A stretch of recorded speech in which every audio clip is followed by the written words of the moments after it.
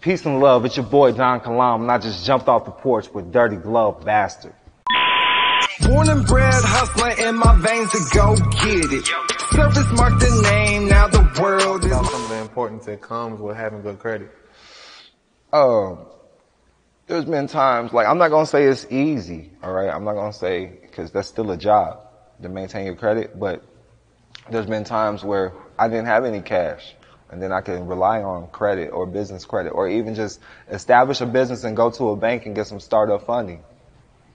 Like people don't understand, like when you become a, like when you hear like uh, Rick Ross, that name, that's a business. That's not no name. That's a business. That name's getting paid. Yeah. You follow me?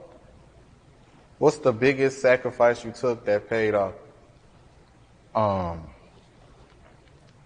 I would say just not retaliating, uh, believing in karma. Um, I've had like people close to me take a, a large, substantial amount of money out of some accounts. So just and not turning that in, not retaliating, just trusting the process, and then figuring out what you did that led you to that, anyways. And it always pays off.